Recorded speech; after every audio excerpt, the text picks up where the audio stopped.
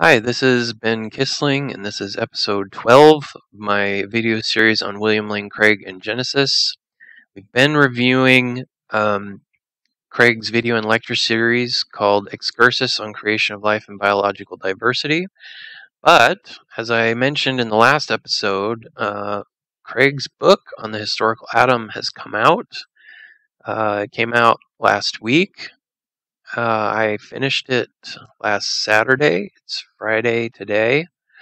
Um, so this is going to be a sort of rapid reaction, initial reactions that have been fleshed out just a little bit. So it's half fresh. It's a half fresh review of the book. Um, um, I thought I'd do this now because, um, well, get into that.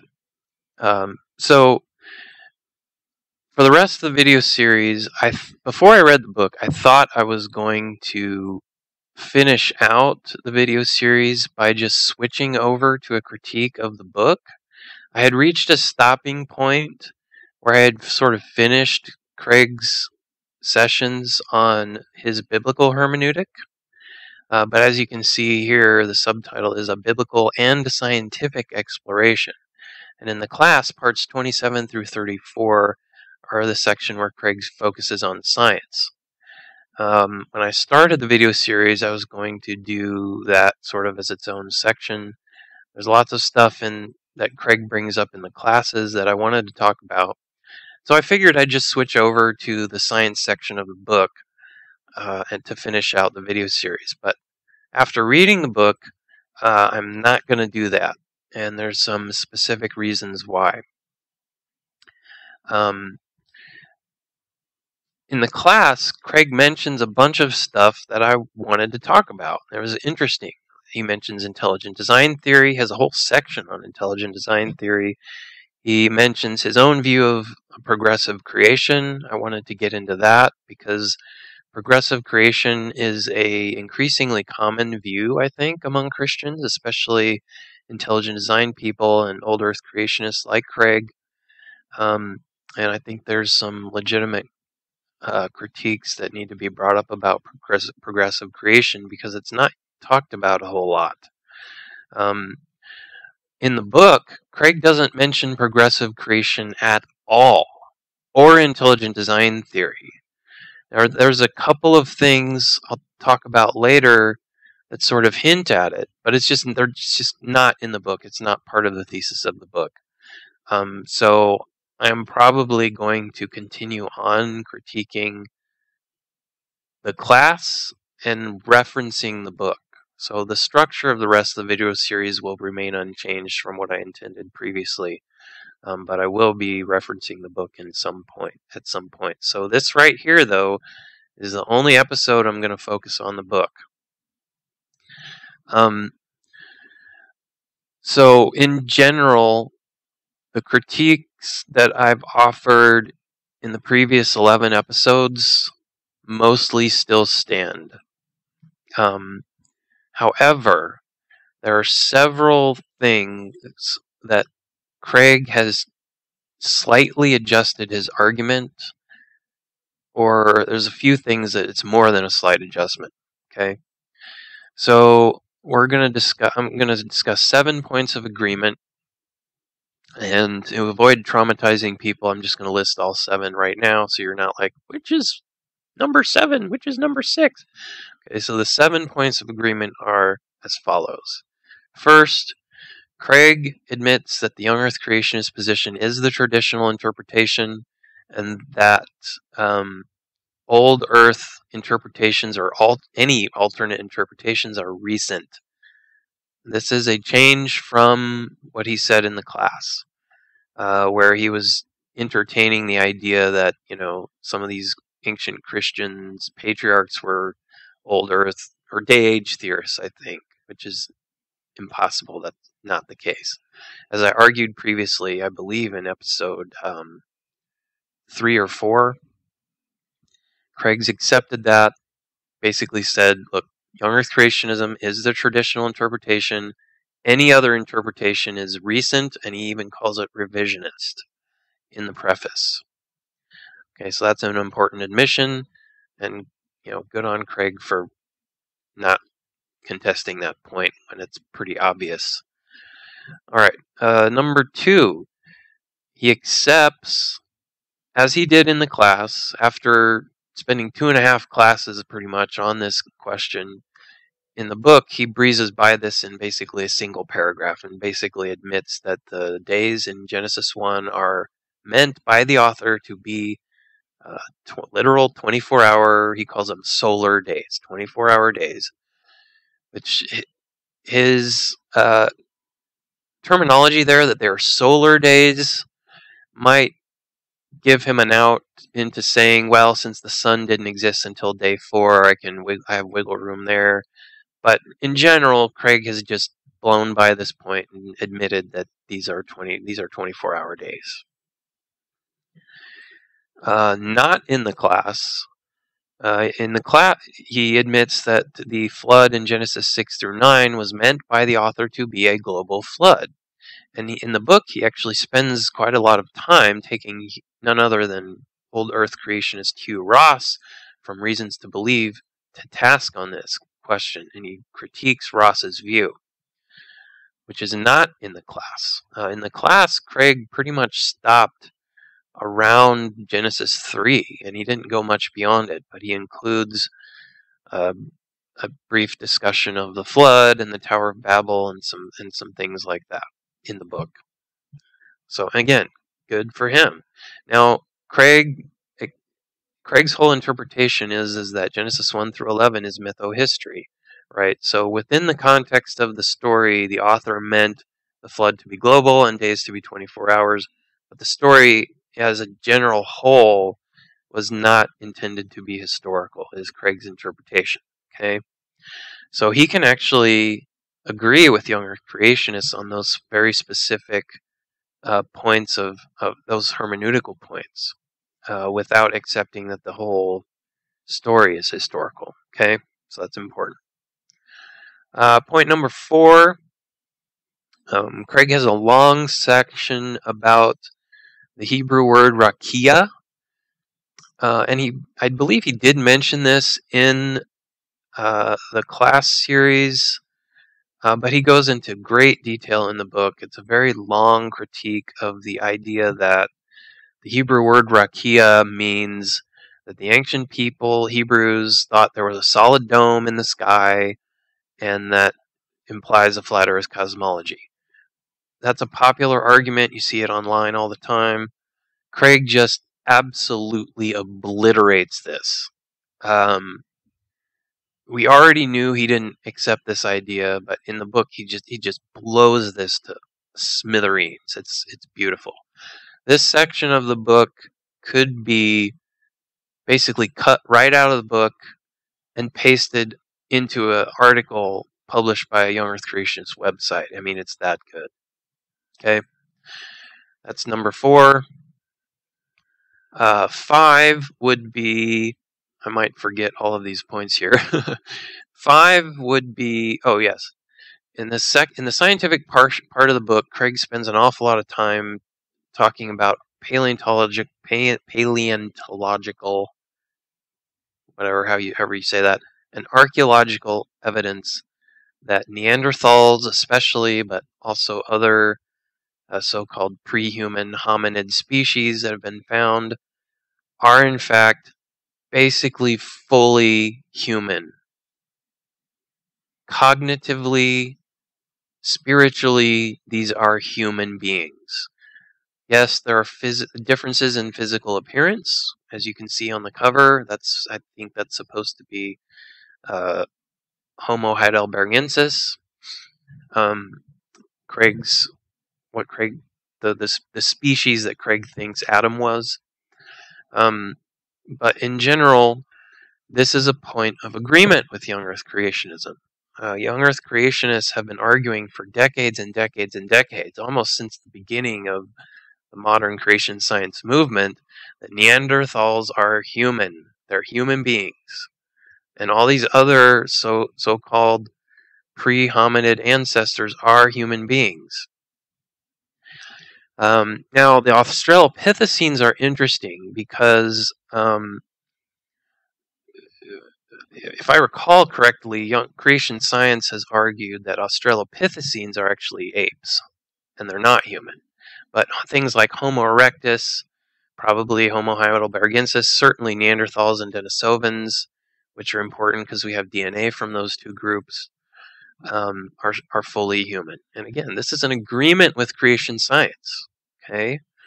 So that's five. That's point number five. And that's really important. Craig spends a lot of time on this. Um, point number six is this is probably the most interesting point. Uh, I'll just jump ahead and say point seven is uh, the the simple fact that Craig accepts a historical Adam. Again, in agreement with creation science, with young Earth creationist position uh, the historical Adam. And what he means by Adam, as he makes this very clear, is he means the historical Adam and Eve, but he's just going to shorten it to the historical Adam so he doesn't have to say the historical Adam and Eve all the time. Uh, this is one thing I really appreciate about Craig. He's not going to bow to all the woke stuff um, and say, "Oh, I've got to include Eve, otherwise I'm, you know, being discriminatory." Now he's just like, "This is this is a, a linguistic convention. Okay, guys, get over it and grow up. Good for him. Um, so, point number six. This is probably the most interesting point, and I might spend quite a bit of time on this. Uh, this is the only slide you're going to see. I just slapped this together so I could do the video. Okay, so sorry if it's not super involved, but you know, at least this picture is pretty interesting to look at anyway. Um, point number six is in the class. Craig, if you remember, I believe this. I talked about this in episode uh, five, uh, where I talked about mythohistory directly. The genre that Craig claims Genesis is is mythohistory. Um, in the class, Craig argued uh, that because the Genesis creation accounts in chapter 1 and chapter 2. She says are two different creation accounts. You know, which is obviously true. There's two different accounts of the creation of man and all the rest. In the class, Craig argues that there are inconsistencies between Genesis 1 and Genesis 2, and he says what they are. In the book, he says a couple in a couple places that there are inconsistencies in the two stories. Uh, but he doesn't get into the arguments about what those consistencies are. He, as far as I can tell, he has completely dropped the claim that um, in Genesis two it says that God made the animals, uh, you know, after man or something. Uh, right? So it says something like, and then God made man, and then God took the animals that he had formed and brought them to the man and had the man name the animals, basically.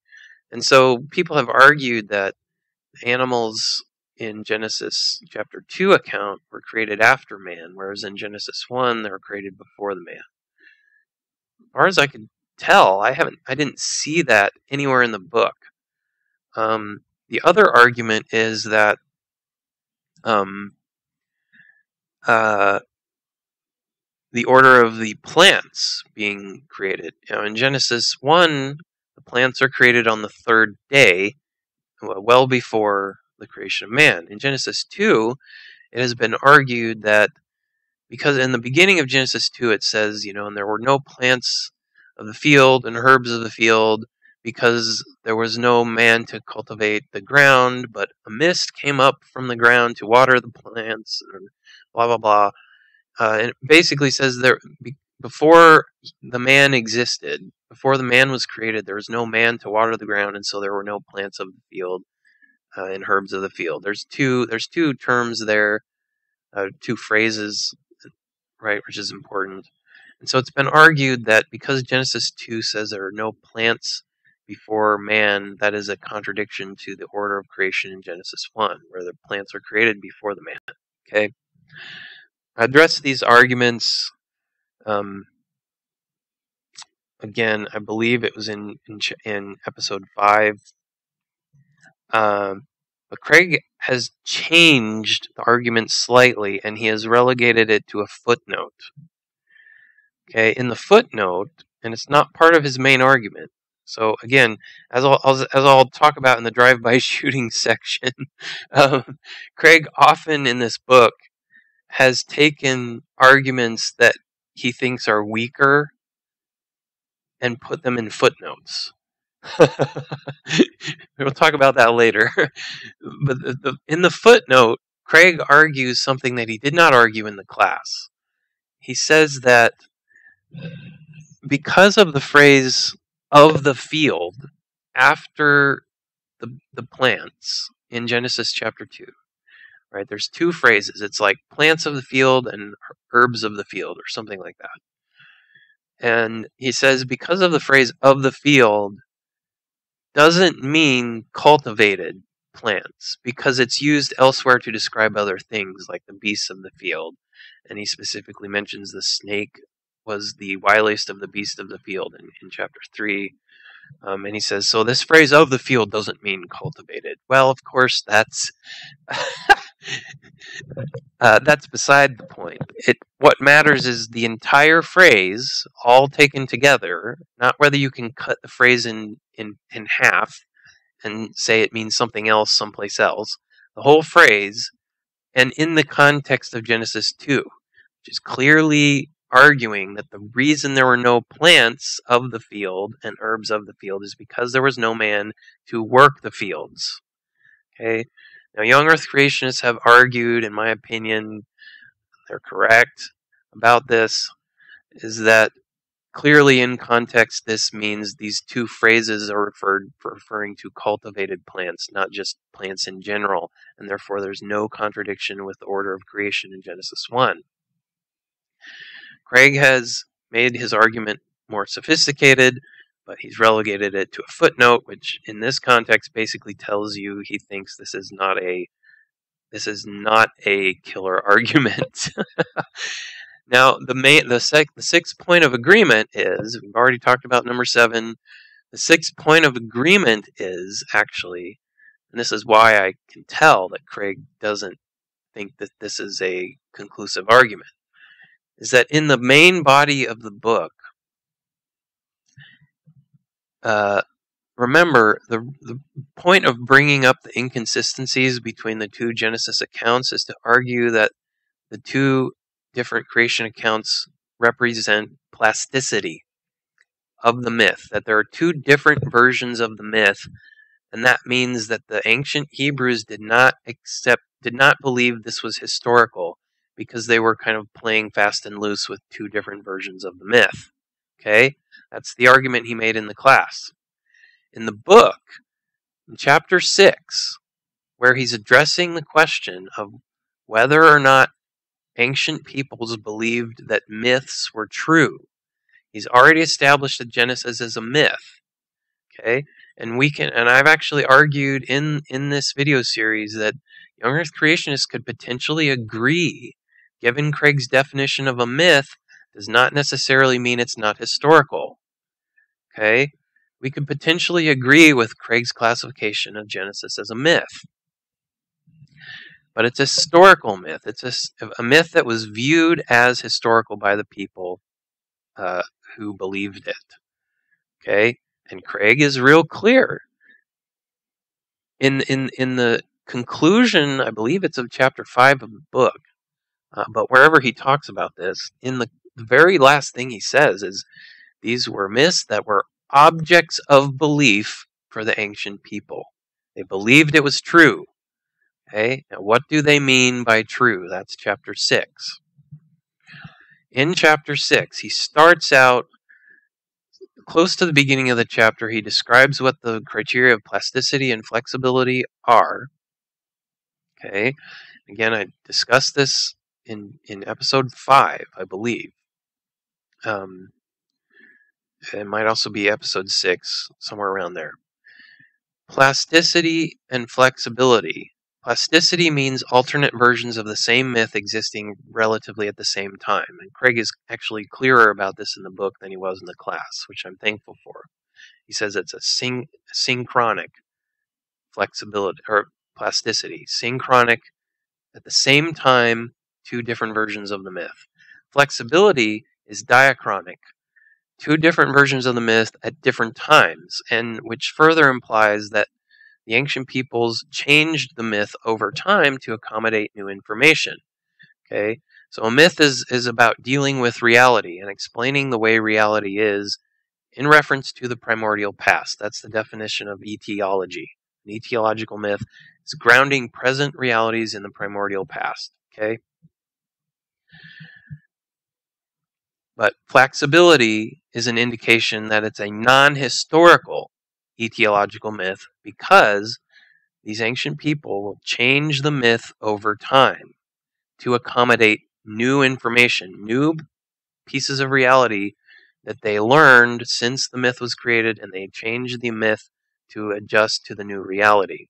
That's flexibility. In the class, I noted very specifically that Craig does not apply the criterion of flexibility to Genesis at all. Doesn't even try. He applies the criterion of plasticity to Genesis 1 and 2, claiming these are two different and inconsistent creation accounts. And we already went over that. In the book, in chapter 6, he talks about flexibility and plasticity, and then he launches into a long discussion of other ancient Near Eastern myths Babylonian, Egyptian, Sumerian, everything. Myth after myth after myth, he's talking about over and over and over and over. Some of them he applies the criterion of plasticity and flexibility to show what they are. He talks about the um, uh, the Islander myth that I talked about in the video series about the temple and the nails and how they were trying to explain why they don't have iron nails in their temple. Um, but you can read that in the book or go watch the previous episodes. Um, he talks about that one he talks about all these other ancient myths, and then at the end of this long discussion of all these myths, suddenly at the very end, he drops this bombshell. You cannot apply the criterion of plasticity or flexibility to Genesis because there's only one version of the text. Craig's basically at that point admitting that his argument that Genesis 1 and Genesis 2 are different versions of the creation myth doesn't hold. Okay, so he's giving up that argument and he's admitting that the plasticity and flexibility criterion, which are the only two criterion that indicate non-historical non-historical etiological myth from historical etiological myth doesn't apply to Genesis. That is a huge admission because it means essentially that Craig's only argument that Genesis is has any is non-historical at all, and by that he means understand what he means here. He means clearly that the way the people, the ancient Hebrews viewed the myth, not the way he's assuming them it actually is. He's saying the way the ancient Hebrews understood the myth to be. Did they understand it as historical or not? The only arguments Craig has left to claim that they did not view this as historical are, in my opinion, highly subjective. Uh, they're the criterion of, well, there's lots of metaphorical language in it. Um, there's fan, quote, fantastic, unquote, elements of the story which are, quote, palpably false, unquote. I've already discussed this. Uh, how I think this is subjective criteria. Craig was, again, Craig was confronted with this in the class by a friendly member of the class who is an old earther and was friendly to him. But he noted that, you know, someone might object that this is an argument from personal incredulity. You know, based on your own background knowledge, you have decided that this is not believable, basically. This is, and Craig's response was, well, some things are incredible. Which was a really revealing response, basically a non response. You know, it's, we'll, we'll borrow a, a page from Joshua Swamidass's book here. It's a non responsive response.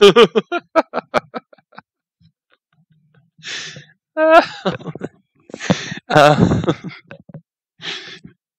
but this is this is just huge. Craig has I can't emphasize this enough. His argument in the book is not as strong as the argument he made in the class. He has backed off. Wow. Okay, that's a big reveal. Um, so his whole argument now depends on whether or not you think that certain story elements in the Genesis 1 through 11 are palpably false or not. And Craig has given no objective criteria for determining that because there aren't any. And he almost he almost admits as much in the book. he basically says you can't there's no objective criteria for determining what a myth is. Uh, so you can't really evaluate whether something's a myth or not based on criteria. You can only go by fam- quote family resemblances. Whereas these other myths, we say they're myths, and we draw comparisons with with Genesis. Okay, which is very interesting because in the cra- in the class he went into great length explaining why. Uh, you remember Miller and Soden's view. I believe this is episode four that I of my series. Uh, certainly three at least. I think three, maybe four. Uh, where you know Miller and Soden have this view Genesis as a uh, theological polemic, and so they're critiquing other ancient creation myths. Right? Craig rejects this comparison, calls it parallelomania, trying to find all these parallels between um, ancient myths and Genesis. Now, this argument sort of appears in the book, but he doesn't use the word parallelomania. As far as I can recall, he doesn't mention Miller and Soden. Could he might have in a footnote. Um,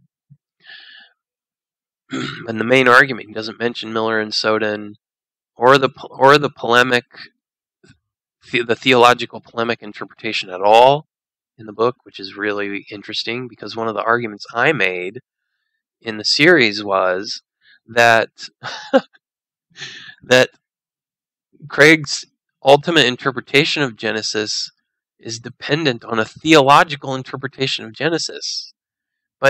His hermeneutic, such as it is, it's not really a full hermeneutic, it's a genre analysis. More on that later.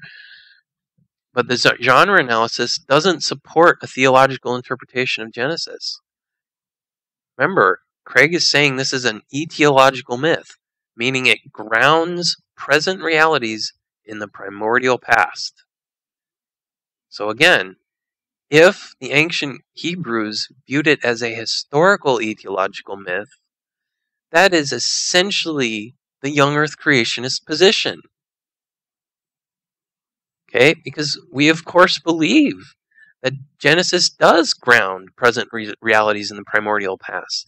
It explains the existence of human sin and the, the fallen nature of man.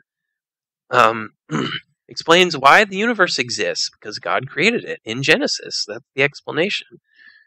Explains things like created kinds, you know, plate tectonics, the flood, all you know why.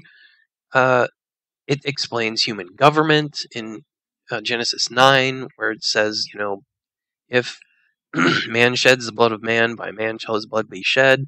That's the basis of that's the etiological basis of human government.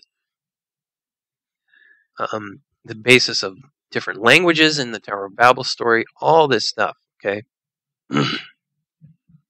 I argued actually last episode there may even be more interesting etiological elements of Genesis that explain current realities like um, certain aspects of human society and government are the result of God limiting human lifespans to under 120 years.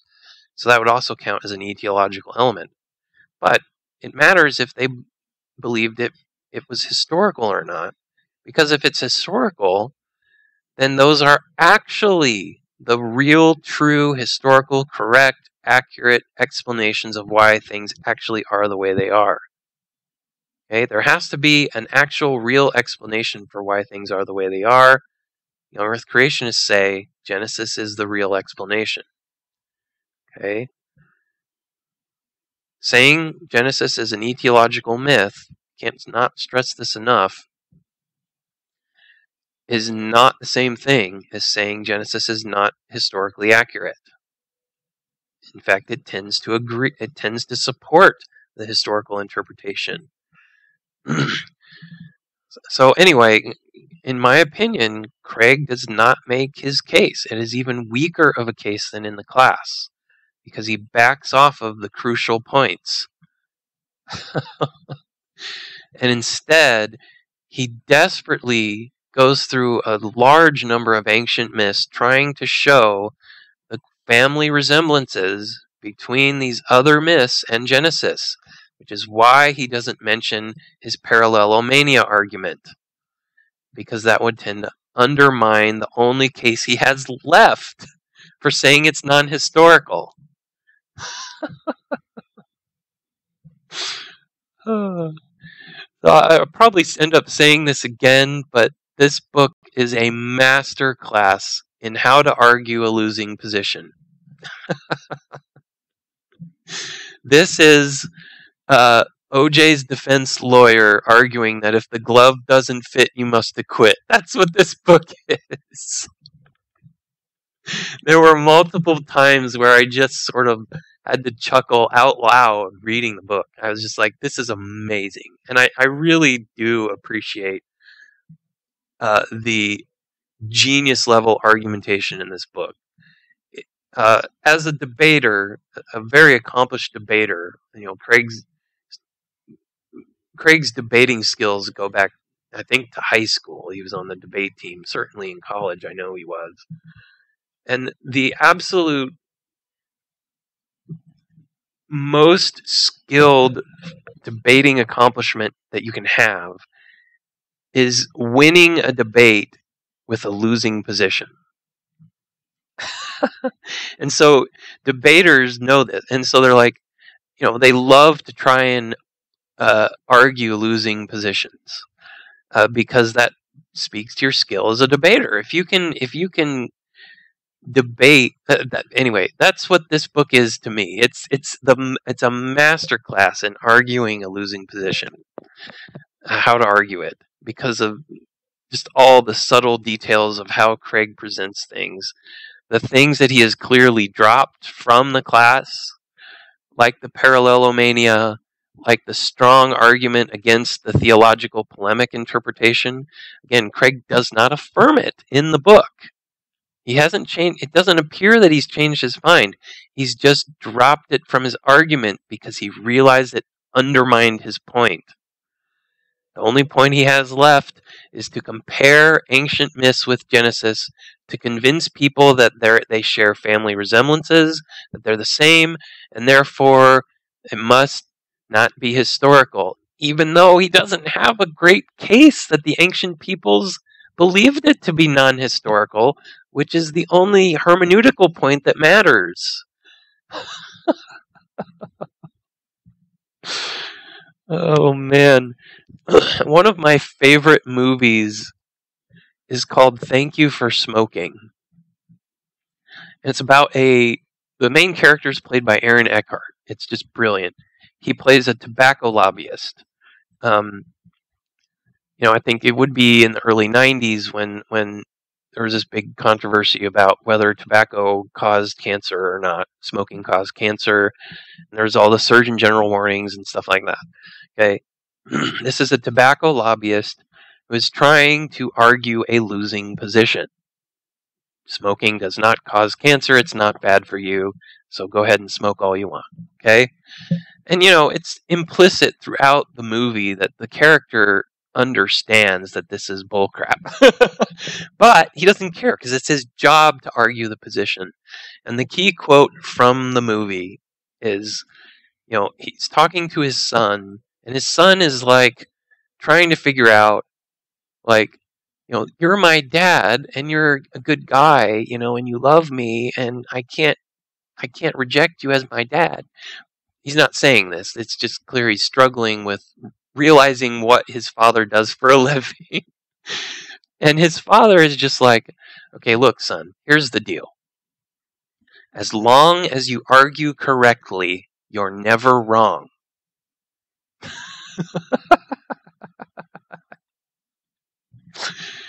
as long as you argue correctly, you're never wrong. You can argue from a losing position and not be wrong in the things you say. Okay? you can argue for a false position and never be and never be able to be proven wrong. That's the beauty of argumentation. Okay? As long as you do it correctly, people can't prove you wrong. Okay?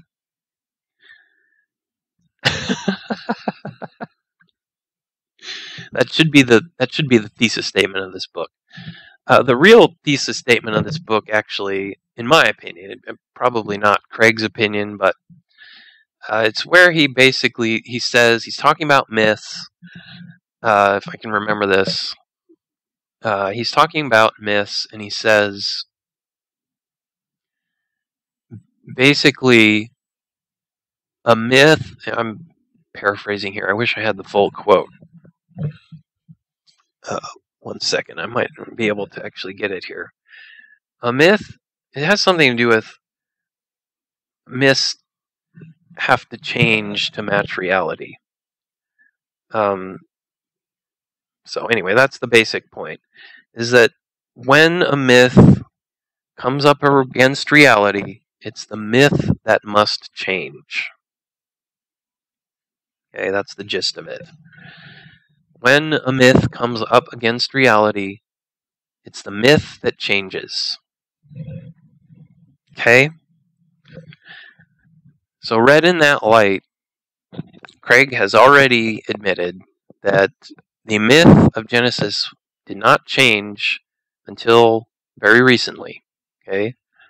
And his excuse for this in the book is an argument he did not make in the class, his excuse for this in the book is well, it turns out when the, the invention of writing basically screwed me over. because as soon as these ancient peoples figured out how to write down things, those gosh darn it, they figured out how to write. and so when they figured out how to write, they wrote down the myth, and now they just can't change it anymore.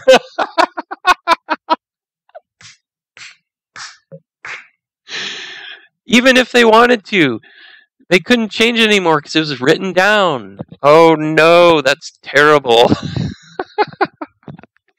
because, gosh darn it, if they hadn't figured out how to write, they would have changed the myth, and I could prove that I was right, and that the myth is plastic and flexible, or in that case, would be flexible mostly.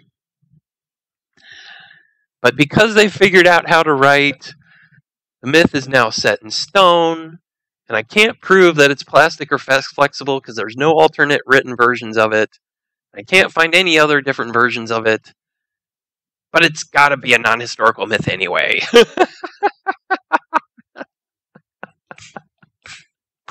Those darn ancient Hebrews and their writing.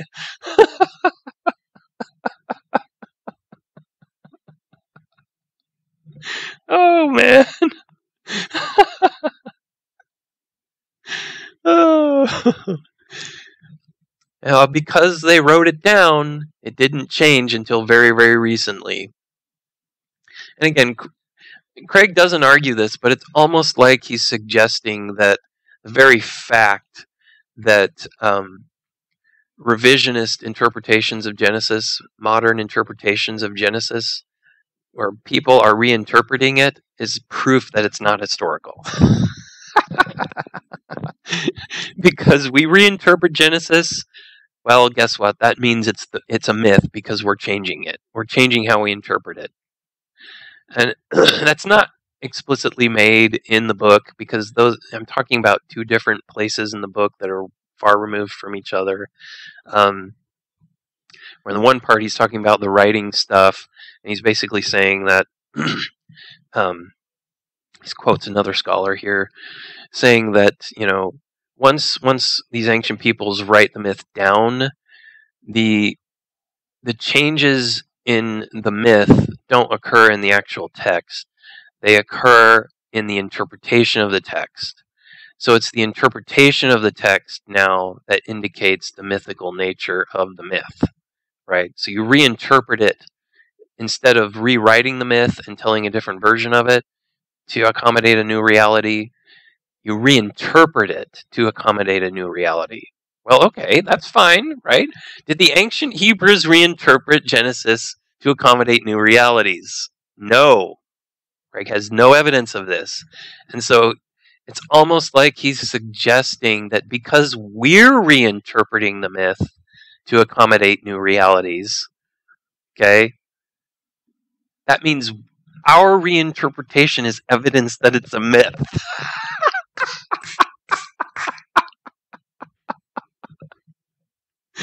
Again, I have to emphasize Craig did not make that argument, but it almost seems like he's trying to suggest it. Okay, that's why this is this is just a masterclass in arguing a losing position, uh, because he's trying to get people to draw conclusions that are not warranted, without himself actually being liable for for making for drawing those conclusions himself.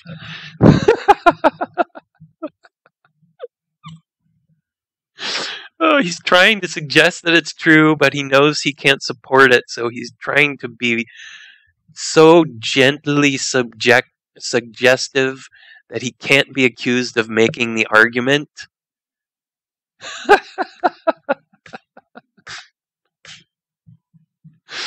oh, it's amazing. It's amazing. Um wow. And of course, the main point here, and I'll I'll move to the drive-by shootings in a second. Sorry, it's been way too long. It's, I didn't intend to do it this long. Anyway, the main point here is simply that, and now I lost my train of thought. This is what you get when you get a hot take. I'm sorry, guys. Uh, okay, the main point here is that how how does Craig define what is real? How does Craig define what is reality? Okay, what has changed about reality since the distant past? Okay, I believe Moses was on Mount Sinai. God told him this story. He wrote it down. Uh, he, he, may have been drawing on uh, previous oral traditions and writing it down, but God was guiding this process. If there is any part of the Bible that has more of a claim to being the direct words of God than Genesis, or at least the Pentateuch. You know, I can't find any.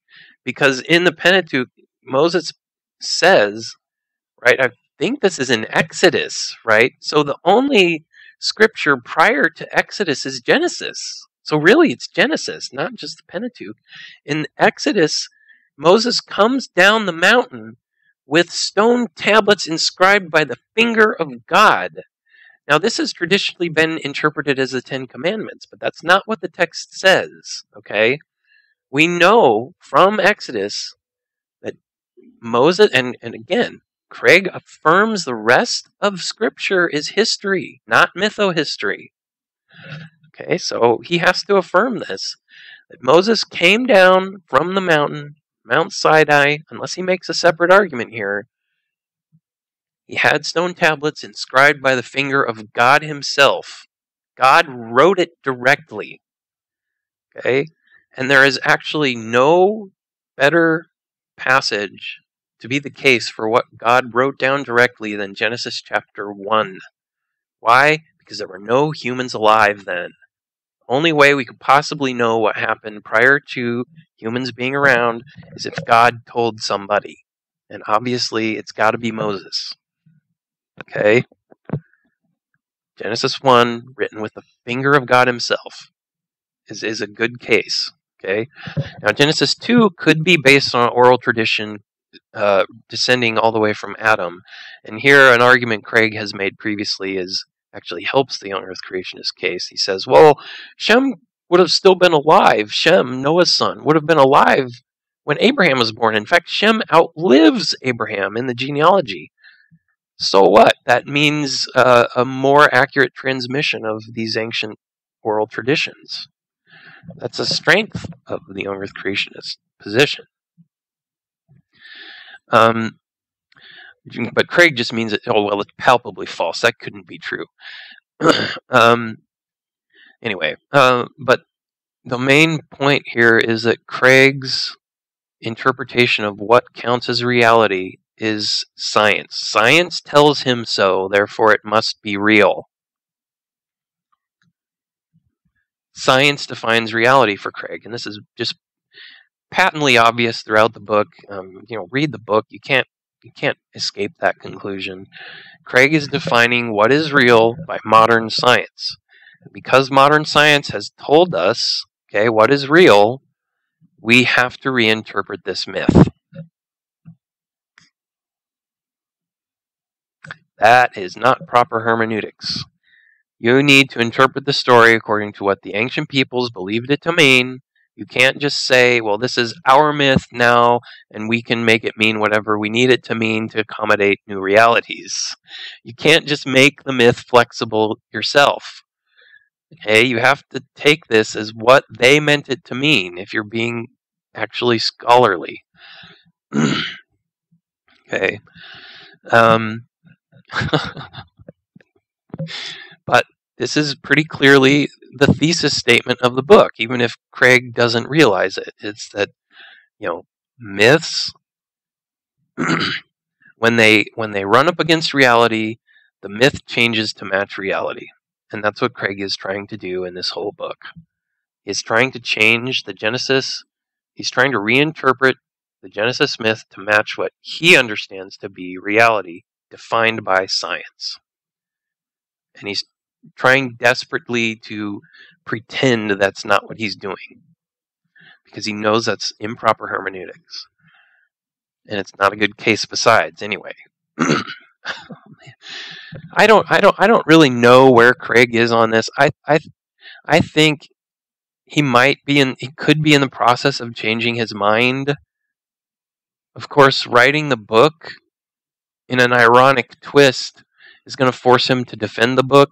The fact that he put this down in writing, just like Genesis, right, means now he has to defend the text of the book.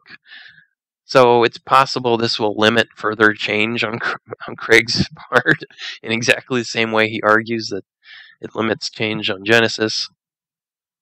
Oh, it's such a bad thing that they invented writing. oh, I'm I'm I'm very happy about this book. anyway, um, okay, let's move on. I've belabor this point way too much. Drive by shootings. It is a common occurrence in this book where Craig blows by huge issues within a single sentence or single paragraph without mentioning all the stuff he's assuming. One of the more obvious uh, examples of this is where he talks about where he affirms that the days in Genesis 1 are 24 hours. Just blows by it in a single paragraph without even mentioning alternative views, basically. It's just like, whatever, these are 24 hours, let's move on. there's a there's so many examples of this. I'm just not going to be able to remember all of them. Uh, one example of this is when he's talking about in the science section, he's talking about Neanderthals and all that. um, he just he ta- he talks about a couple of different uh, proteins where scientists have shown that a single point mutation. I'm assuming it's a point mutation. Craig doesn't. I, I don't think he uses the word point mutation. Um, he just says mutation. Craig doesn't engage with bio- biology stuff that much, but I'm assuming it's without looking at the papers, I'm assuming it's SNP, single nucleotide polymorphism, uh, point mutation. Um, but in you know in uh, SNP doesn't necessarily lead to an amino acid change, so it has to be an, a single amino acid change. There's such a thing as silent mutations. We don't need to get into that um, because there's three nucleotides that code for amino acid, and the genetic code is what's called redundant uh, or, or degenerate is the scientific term for it, which is a misnomer, but anyway, it doesn't matter. Um, you, you, you have a single amino acid change in a couple of different proteins that affect brain development.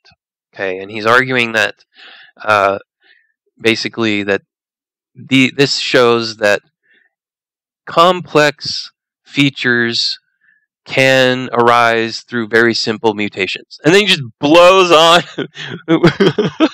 just runs right past this statement. And I'm sitting here thinking, there's no reference here. There's no support for the statement. He just says complex uh, features can arise through very simple mutations. Moves right on by, and I and I like red flags everywhere. I know a bunch of intelligent design theorists who would vociferously argue otherwise and have been for 20, 30 years. and they've made a very good case on this. In fact, such a good case, I think it's basically at this point, uh, the argument's over. Um, we, well, I want to talk about that maybe, uh, maybe later. I've discussed it in the Sunday school class videos. But Craig just blows by this as if this is not a huge assumption.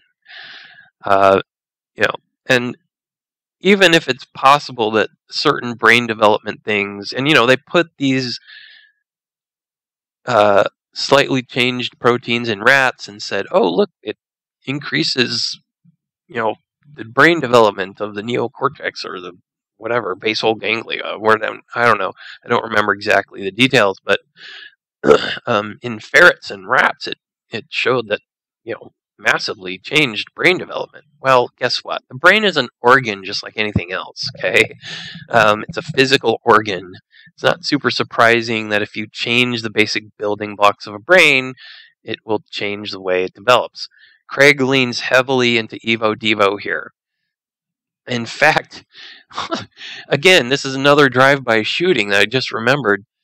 Uh, Craig actually suggests he actually refers to recapitulation theory. And just blows by it like this is not oh well sometimes uh you know embryonic development recapitulates this he uses the word recapitulate. Oops. Um there's a little preview of previous episode that has already been done but um he just blows by this like this is like he's suggesting recapitulation theory which has been thoroughly debunked. Again by intelligent design theorists by creationists this is this is not even a viable theory according to evolutionists anymore. Uh, it's not held or believed but craig like puts it out there like recapitulation theory which the statement is um, uh, ontogeny recapitulates phylogeny, which basically means development of an embryo goes through the historical stages of your previous the previous evolution of the species of the embryo. it's like okay, dude. Whatever. This this requires support. You know, we can't just can't just claim this and run off act like this is not uh, that this is something that everybody just accepts. That's not the case. Um, there's a number of, of places in the book where Craig does this. Um, another one is uh, he does spend a little time with some critiques of young Earth creationism. He claims that uh, young Earth creationists can't account for the number of species in the world today because of the limited number that were on the Ark. Uh, this has been dealt with in detail by, for example, Nathaniel Jeanson in his book Replacing Darwin, and shows how that's not the case. He's Craig Craig Grace basically refers to Hugh Ross for his criti- critiques of young Earth creationism. So make of that what you will. I don't think that Hugh Ross is an excellent critic at all. Uh, he claims there are 5.8 million land species. Uh, you know, read Nathaniel Jeanson's book on this, and, and, there's plenty of other creationist responses to this. This is not a, this is not a difficult objection to uh, answer. Um, the fact is is that we have observed speciation events, and Nathaniel Jeanson makes a good case that for uh, a rate of speciation that has been not directly observed, but you can infer it from what we have observed.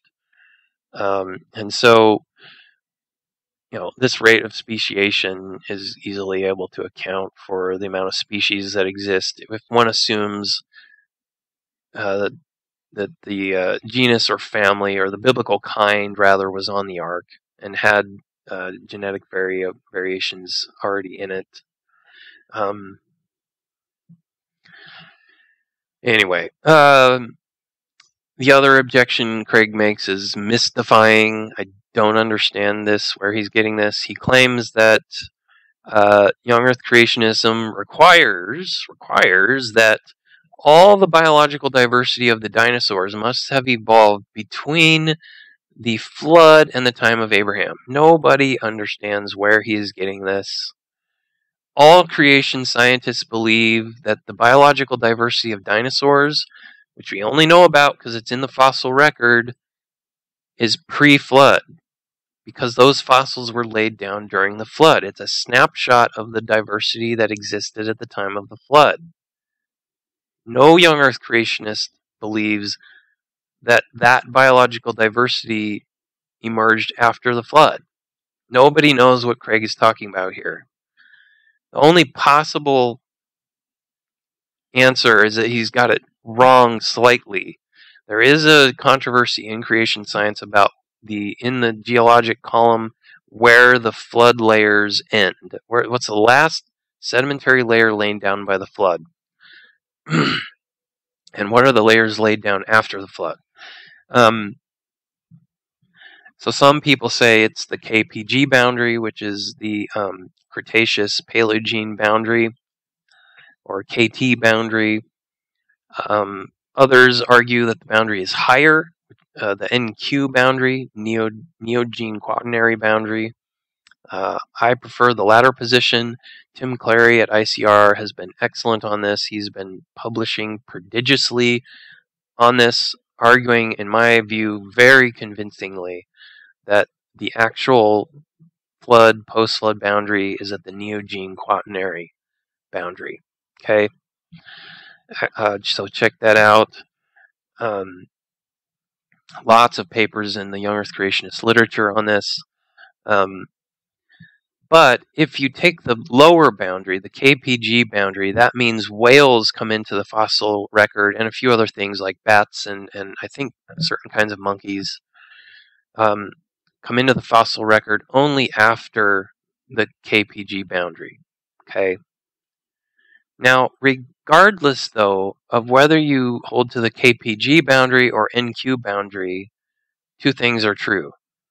Virtually all the hominid fossils in the record occur above the boundary, either the KPG or NQ, it doesn't matter. Post flood fossils. So Neanderthals, Denisovans, Homo erectus, all the rest occur after the flood. Okay. Um, also, all dinosaurs occur before the flood, no matter which boundary you choose. Okay. So when Craig says that dinosaurs, all the entire history of dinosaur evolution must have occurred between the flood and the time of Abraham, he is not correctly representing the creation science position. I don't know what he is talking about there. It makes no sense. He doesn't understand creation science. I've said this before. He doesn't care to. He doesn't read the literature. He refers to Hugh Ross primarily as his source for creation science, which Hugh Ross is an old Earth creationist who critiques creation science. Okay, he's not referring to young Earth creationist literature at all, except for Sarfati's book, the Genesis account, which he gives indi- evidence that he probably hasn't read it carefully, at least. Um, this is really frustrating. So that's another drive-by shooting. It's there is an argument going around. There's a there's a guy named Joel Duff who makes this argument a lot as a critic of young Earth creationism that you guys accept whale evolution after the flood uh, because of the earlier KPG boundary. If, you hold to the NQ boundary, you don't have this issue. But you guys accept that whales evolved from bovines or whatever, land mammals. Um, and so you're really evolutionists. You believe in evolution already. You know, you've given up the game, is, is Joel Duff's argument. Okay, well, um, ICR, because of Tim Clarey is basically moving towards the NQ boundary. I predict this will become the consensus in the future in the young Earth creationist literature. Uh, Tim Clarey's arguments are just are just, in my opinion, absolutely convincing on this. Um, of course, you don't necessarily, if you hold to the KPG boundary, you don't necessarily have to assume that whales evolved from land mammals. You could say that whales survived the flood and weren't fossilized in the flood. You could say something like that. You could also say that evolution was not Darwinian or naturalistic, it was directed evolution or perhaps um, you know, front loading or something like that. I don't think any of those are good cases, but you don't necessarily have to give away the whole evolutionary game the way Duff argues.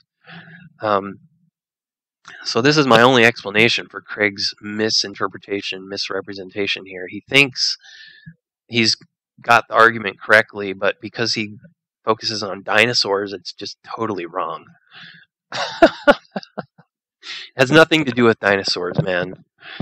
Um, it has to do with the fossils that occur in the in the record above the KPG boundary, and that's only if you hold to the KPG boundary as the flood post flood boundary, which I think is not going to be the case in the future. Anyway, I I just think Craig just doesn't understand something here. Um, another drive by. I'm trying to remember. There's one more big one that I remember. Oh well. Anyway, there's there's lots of these in the book, and so many of them occur in footnotes, which I talked about before. If there's an argument that Craig thinks he has a response for, he'll present it in the narrative of the book as though he's being fair-minded and considering all sides. But if there's an argument, oh, this is the one I wanted to talk about. we'll end with this. I know this is getting really long. Uh, we'll end with this. Okay in his argument from the New Testament, which again, the reason Craig affirms the historical Adam is because of New Testament passages like Romans 5 and 1 Corinthians 15. Okay? And because he, he di- distinguishes between asserting something in the in the text and illustrating something. So an illustrative purpose is, well, you could be referring to a fictional story to illustrate a point, right? Well, you're like Thanos because you're evil and you want to kill everybody. Okay, that's an example of an illustrative purpose. I, again, I've talked about this in previous episodes. Again, I think this was episode five. Um, doesn't matter. Uh, and so he says, but Romans 5 and 1 Corinthians 15 do not make sense in the text unless the historical Adam and Eve exist. So he affirms historical Adam and Eve on the basis of the New Testament passages, not the Old Testament passages, which is a super awkward position. He calls it the literary Adam in Genesis, but the historical Adam is only found in the New Testament. Even though, even though it's pretty dang obvious that the New Testament authors get everything they know about Adam from Genesis. so it's a super awkward position to be in to say that, well, we only believe in the historical Adam because, you know, Paul affirms it in Romans, even though Paul's referring to Genesis, but Genesis doesn't affirm the historical Adam, so, but because Paul does, we have to believe it. Oh man. And and also because science tells us what reality is and science allows it, so we're okay there. If science allows it, we can affirm it.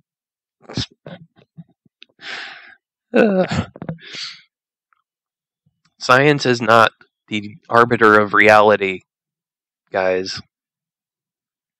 Just put that out there. Um, and we may have to discuss that in a separate episode. That's a huge issue. Craig does refer, this is one of the drive-bys actually. Craig does use the word paradigm in the book, uh, which is an indicator of uh, Thomas Kuhn's philosophy of science and his seminal book, Structure of Scientific Revolutions, which argued again that, you know, paradigms are important in science, but they're not necessarily grounded deductively, and so you can't prove that they're correct. Craig uses the word paradigm to cr- criticize young earth creationism and say, you guys don't have a viable paradigm. So blah. Well, guess what? if you're if you're accepting the paradigm language, you're accepting that the paradigm has nothing to do with truth. If it's a viable paradigm, doesn't mean it's true. If it's a non-viable paradigm scientifically, doesn't mean it's false. Again, uh, there's a whole universe of argument there that he just blows by. anyway, we'll get back to the, the New Testament. And I, I promised I'd end with this. Um, in the same manner in which Craig argues that the New Testament passage asserts the historical Adam, in the in the sense that his the argument and the thing that he's saying is true, Paul in Romans five, that is, the thing that he's saying is true there doesn't make any sense unless Adam is actually historical. Okay, in the same sense, I argued, okay, again, episode 5 is the key episode here, that 2 Peter chapter 3 says, Peter makes the argument that, you know, look, the end of the world is coming. But people say, nah, the end of the world isn't coming. Things are just going on as they have before. And Peter says, but they forget, deliberately forget, that God destroyed the world with a flood. And this proves that things do not continue on as they are always continuing on, and therefore, you know, they're wrong in this objection to the end of the world that is coming. Peter's argument does not make sense without an actual historical, worldwide, globe destroying flood, and Craig has admitted that the flood account in Genesis means a global flood. That means he has no counter argument to 2 Peter 3. The only counter argument to 2 Peter 3 is to claim that, well, in 2 Peter 3, he's talking about a flood that killed all people, but not didn't destroy the whole world. It's not a global flood. That's the that's the argument Hugh Ross makes. But Craig has specifically rejected Ross's position on the flood. He says the flood in Genesis is global. That means he can't argue the flood Peter is talking about isn't a global flood because Peter is obviously referring to the Genesis flood. Okay? So, by the logic, Craig's own logic that he affirms a historical Adam, according to 2 Peter 3, he has to affirm a global flood actually existed historically and happened. That's huge. But guess what? Craig makes a huge argument based on 2 Peter 2. He spends a lot of time on 2 Peter chapter 2, and then right in the narrative, you'll you you can just completely miss this in the narrative of the book. He skips ahead to 2 Peter chapter 3 verse 19. It says, well, blah blah blah blah blah. 2 Peter 3 19, 2 Peter 2, let's just skip this thing in between. Boom. drive-by shooting. Now he does mention 2 Peter 3 verses 1 through 7 in a footnote. Again with a footnote. He relegates the counter arguments to a footnote when he feels he can't ignore them but has no answer and bringing up bringing it up in the regular narrative might point people to holes in his argument. but he puts it in a footnote so he cannot be accused of not addressing 2 Peter 3 1 through 7. this is just brilliant. brilliant. But of course, he doesn't address the main point that I just made in the footnote. I can't even remember what the footnote says, but it doesn't address this point. Is that Craig is being inconsistent if he doesn't affirm a historical global flood based on 2 Peter 3 1 through 7. Anyway, that's the last drive by.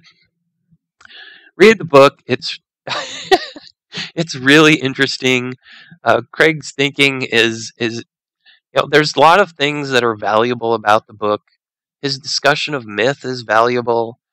Uh, Craig has changed, I think, slightly his position on what is a myth and what isn't. In the class, he said that my definition of myth that I'm using is from the professional folklorists, and it's not the same definition as C.S. Lewis uses when C.S. Lewis talks about the Gospels as being a true myth. This was brought up in the class.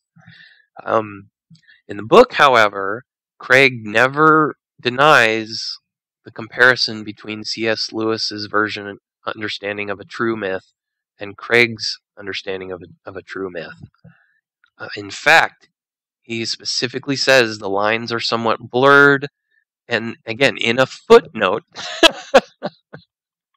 in a footnote, he actually references Lewis's essay called The Funeral of a Great Myth, where Lewis says, look, the evolution, the caveman, everything, that's a myth, a, a, a popular myth, and specifically, it's not a true myth, right?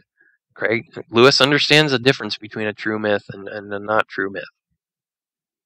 Craig seems to blur the lines a little bit about what the definition of a myth is, and I think his thinking on this has has evolved a little bit. Um, anyway, it's a very interesting book. Uh, it's difficult to actually see what Craig really thinks. Um, I think he really does have uh, antipathy toward antipathy towards creation science. That much is true because his arguments against creation science are always unfair. Uh, they're they're uh, I want to say vituperative, but I can't remember exactly what that word means. Let's say vehement. um, and he keeps saying over and over, and he said this in a recent podcast after the book's release, says, look, if young earth creationist hermeneutic of Genesis is true, we're all screwed.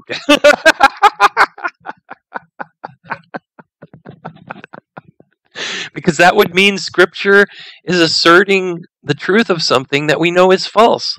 His standard for truth and falsehood being science. Science says this is can't be true. If Genesis teaches young earth, that's that's it. The Bible is teaching error, and we're we're screwed. oh, he's just flat out admitting that his standard for truth is science, not the Bible, not God's word, and and uh, which he knows is a bad hermeneutical principle, which is why he orders the book, and he says this, states this in the book. Well, I presented the biblical hermeneutic first, which is not a hermeneutic. He doesn't have an interpretation of Genesis, not a real one. It's theological. His, his 10 points about what Genesis really means, 1 through 11, is theological. I, I already discussed this. They're not different points that he made in the class, but it's not supported by his genre analysis. He hasn't made a good case. He, he does make a slightly better case in this book that there are theological interpretations of myth. But in my opinion, it's not a good case. Okay, the, the myth, the, Craig's idea remains that it's an etiological myth, grounding current realities in the primordial past. And if that's what it is, and if they believed it was true, and he has no argument, no solid argument that it's not historical, I mean, that's young earth creationism. Okay. He comes about as close to it as you can without being one. The only problem left is Craig Craig just can't accept that science may not be absolutely correct about everything. I don't, or or or or he doesn't believe that, but he's saying like in our current situation, the scholarly situation is science says this, and therefore, if we can't interpret the Bible to be in accord with it, then that means we're screwed, and we just we don't have an intellectually defensible position. It may not be his, his position on what he believes. And again, it's hard to tell what he believes for sure um, on all of this because his argument's so muddled. But anyway, um, I, I, better stop there. This just could just go on forever. So, anyway, it's an interesting book. I'd recommend it. Um, in the future, I'm gonna be basically doing what I planned on doing before, looking at parts 27 through 34 and loosely talking about intelligent design a little bit, probably progressive creation a lot. We're going to talk about Molinism and how Craig plans to use Molinism to reconcile evolutionary theory with uh, the doctrine of creation, which I think doesn't work. Um, uh, there's also going to be later this month. There's going to be a class actually that Craig is doing at Houston Baptist University. It's an online class. It's a lasts for a week. It's about three hours every night for five days uh, for for weekdays. And so I'm going to be attending that class, and it should be interesting. I'll be able to ask Craig questions directly about the book. Got a whole list of questions, some of which I did not address here. I'm going to surprise him. but it should be fun. It should be fun. Um, you know, I'm at the point now where I'm kind of like, you know, this is this is fun for me. You know, it doesn't make me upset. I'm a little bit upset about his critiques of creation science, which are just flat out wrong in some cases. Um, just completely doesn't care what creation science says. It doesn't engage with it at all. But anyway, um, so that'll be fun. I'm not sure if I'll make another video before the class or not. Um, I may not discuss the class in videos just because it's kind of supposed to be a private thing where you pay and show up and, and uh, you know experience that um, live. But we'll see.